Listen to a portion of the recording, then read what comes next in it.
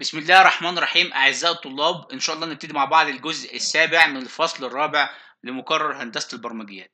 في الجزء ده يا جماعة هنتكلم عن non-functional requirements classifications اللي هو إيه؟ تصنيف ال non-functional requirements. تعالوا نشوف مع بعض.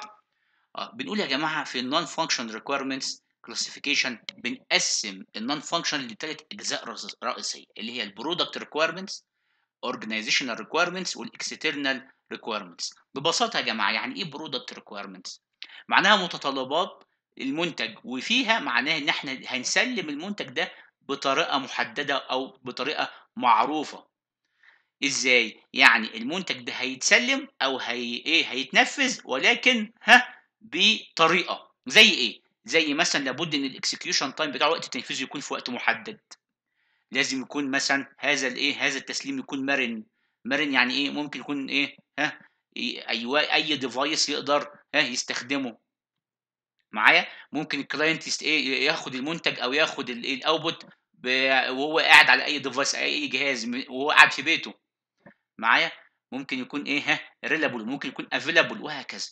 اذا كلمة product requirements معناها متطلبات المنتج ولكن بطريقة محددة زي مثلا على سبيل المثال ال execution speed سرعته.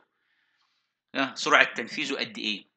طيب هناخد مثال دلوقتي برضو عليه من ال mental health care system طب بالنسبة لل organizational requirements مقصود بها إيه؟ مقصود مقصود بها المتطلبات المؤسسة نفسها المؤسسة لها policies لها إيه؟ سياسات بتتبعها. لابد إن السياسات دي تكون متحققة في إيه؟ في النظام اللي أنت بتبنيه. معايا؟ آه بنقول بقى إيه organizational إيه policies سياسات النظام لازم تكون متحققة. إيه كمان يا جماعة؟ external requirements ومعناها متطلبات خارج خارج بقى المؤسسة والمؤسسة إيه إيه بعيد عنها ما إيه ما هي مش محتاجاها لكن هي متطلبات إيه خارجة عنها. وزي على سبيل المثال اللي هي تكون تكون ملزمة ببعض القوانين والايه والأعراف لازم تقوم بيها. تمام؟ آه بنقول عليها law making جميل. تعال نشوف أمثلة مع بعض. ال product requirements إحنا قلنا ال product requirements نكون بنسلم المنتج لكن بطريقة خاصة زي مثلا السرعة. مش كده؟ أو الزمن أو ال time طب ناخد مثال في ال mental health care system. بنقول إيه؟ The mental health care system shall be available to all clinics during normal working hours من الساعة من إمتى؟ من ال Monday to Friday خلي بالك بقى. التسليم إمتى؟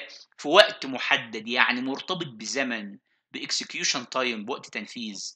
آه في الحالة دي يا جماعة في الحالة ديت بنقول إن ده اسمه ها متطلب لا وظيفي بالنسبة لمين؟ ها لل product requirements معايا؟ وإيه كمان؟ شوف كمان down time the normal working hours shall not exceed 5 seconds in any one day. يعني إيه؟ يعني إيه؟ ال down time يعني وقت الإيه؟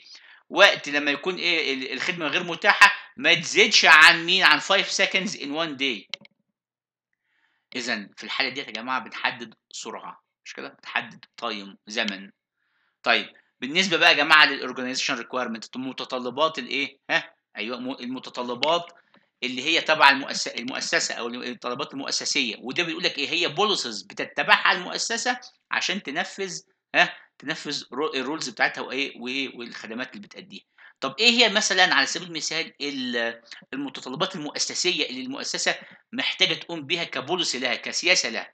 مثلا إنها تحمي بيانات المستخدمين صح؟ آه. فاذا بيقول لك مثلا في ال mental health care system ال users of mental health care system shall authenticate themselves آه لازم يكون كل واحد لهم سرية وخصوصية. مش كده؟ using the health authority identify card كل واحد يكون معاه identify card اذا سياسة الحماية الخصوصية والسرية ديت منين؟ ها سياسة مؤسسية.